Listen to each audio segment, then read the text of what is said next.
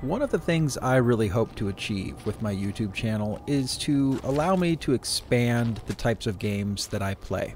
Story rich, point and click type adventure games is something that I've neglected over the years. Now, I did play these when I was a kid, but I thought of myself as having matured past them, and they evolved over time while I was not paying attention to them. When I came across Jenny LeClue Detectivu, this looked like a great opportunity for me to rekindle that interest in these games. It appeared to have very high production values, and even though the game's coming out to Switch very soon, it's already been out on PC for almost a year and has gotten mostly praise since its initial release. Regardless of that praise, though, this game has gone somewhat under the radar. It doesn't appear as though there are that many reviews out there, and while some of the bigger outlets did review the game, those reviewers have had kind of mixed messages, unlike the players, which, as I previously said, seem to like this game. One thing that needs to be very clear though with this particular game is that it is a lot more story than it is game.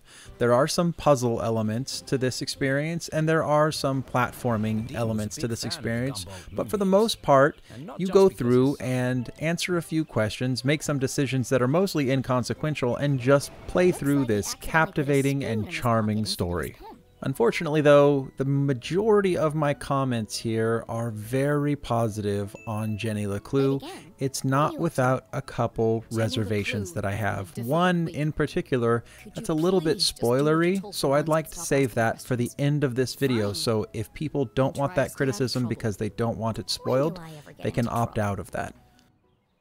The bulk of this experience, though, is going to be based on the story of the game. And here, the presentation is what? almost Ooh. flawless. It follows two different storylines. One about an author who is struggling and his publisher would like him to make changes to a long standing series, the Jenny LeClue series, so that it is more interesting for modern readers. He, however, is reluctant to do so and is gotten a little bit stagnant and a little bit set in his ways. Then, in the world of the Jenny LeClue story, you have Jenny LeClue, who is dealing with a mystery that unfolds within her world. And very minor spoiler here there is a murder in her world, which is an exceptional thing for it to happen. And she has to solve that murder as it impacts people that are close to her. The real dynamic in this story, though, is about growth. It's about change and about accepting that things in the world are going to be different as you go. The author, in this particular case, has to learn that his characters need growth in order for them to be interesting, but by his characters growing, he himself also grows along the way. And this is shown throughout the story as well. In the beginning of the story, everything seems very Brady Bunch, very perfect, very Beaver Cleaver, right? And some of the stuff is extremely cliche, but as the story moves along and as things proceed, it gets darker, it gets a little grittier, but there ends up being a lot more growth, and those cliche elements start to fall away. We start to see new characters, like one of Jenny's friends that happens to be a very rich girl, which typically is shown in movies and media as being rich snobs. But this girl happens to be pretty, but then happens to be exceptionally nice and also exceptionally smart. She seems to be this kind of whole package character but she ends up being very believable at the same time. And this is really the crux of why this story is good, is that everything is believable. The dialogue is believable. Even though the characters, some of them are unconventional some of them are kind of cliche, they're all very believable. These are likable characters. Even the ones that you might have a distaste for, you know that character. You've met these people before. And because of that, it really ties the primary facet of this game, which is its story, all together. The gameplay in Jenny LeClue does leave something to be desired. The puzzles are often repeated in different flavors of the same thing. The platforming elements are mostly just click to climb over, but this game isn't really focusing on gameplay specifically. It's more just the experience and the story and how everything makes you feel. And regarding the experience of this game, if you hold the gameplay aside and its shortcomings, the presentation here is phenomenal. There was a good deal of care that went into nice the cinematography in this game and making it feel not just like you're a part of this world that you're going through, but that you were seeing it through the eyes of Jenny LeClue and you were seeing it through the eyes of the author and seeing their perspectives in this world. And not just their perspective, but you were seeing it through their own flawed lens.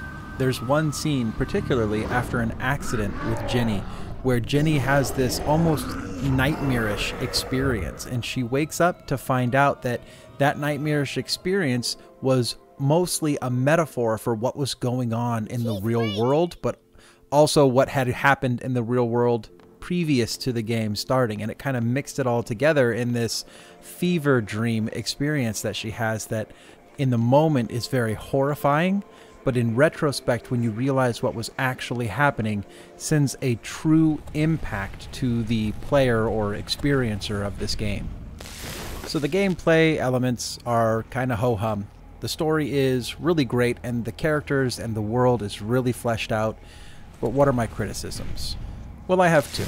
And as I said previously, one of them is kind of spoilery, and so I'll start with the first one. There's no manual save in this game, which at first I thought was fine. I've seen some players complain about that, hoping that they could make different decisions, even though the, the decisions again in this game pretty inconsequential. But they'd like to see that. For me, though, because I had no manual saves, I ran into a bug at one point in the game, and it was game ending. It actually stopped my save progression, and I was stuck in the game, and would have had to restart the game had I not had a cloud save on my secondary switch that I was able to just pick up and run with, go back through that piece of the game, and I was able to proceed. Now, bugs aren't something that this game is particularly known for. I did my homework on this, and not a lot of people are finding these types of bugs, but apparently I did run into one, so they can exist. That's unfortunate. This game's somewhere between 7 and 12 hours long, and if you get towards the end and were to run into a bug, it's game over for you. For that reason, I think the game really does need manual saves, even though the developer seems reluctant to add them into the game. And then there is my spoilery criticism. So, big spoiler sign here.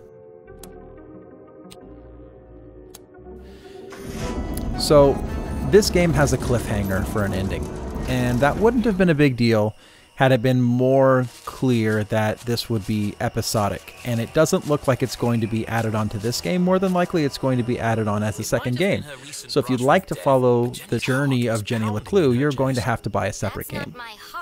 To me, this isn't a really huge deal that you would have to buy another game because we're used to buying games in episodes. And this game does do a pretty good job of wrapping up this specific mystery.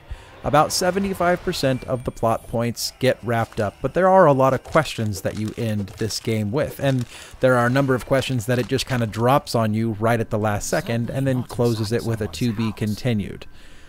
So my criticism here is not as much in the execution of how the game handled this episodic to be continued cliffhanger type of situation. It was more that there was no information to preempt the player to know that that was about to happen. The final experience for me was that it didn't leave me feeling particularly bitter. It really made me feel like I wanted more, which I think was the intention from the developers here.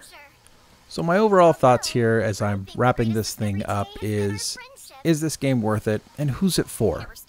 For me, I think that it really worked because I'm a game player that likes to play different things but likes to see different worlds through a different perspective.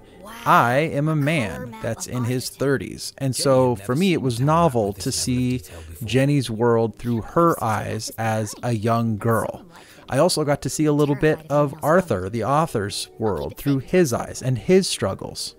But as a game player, that's what I'm after. I want to be Nathan Drake. I want to be Kratos. I want to be Master Chief. And I think this game did that for me in an entertaining way.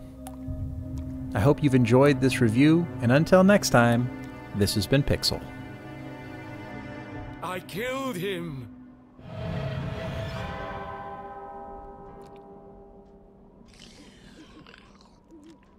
This is all wrong. Murder in Arthurton?